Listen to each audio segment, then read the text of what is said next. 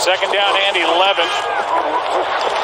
Wilson gets protection, airs it out. Metcalf is there. And it's knocked out of the back of the end zone. Was he in? Play was made by the rookie Diggs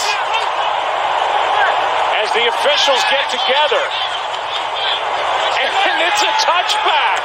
And in and out of the end Diggs zone. so badly. Great job by. Diggs continuing to play, but that's that's uh, inexcusable right there by DK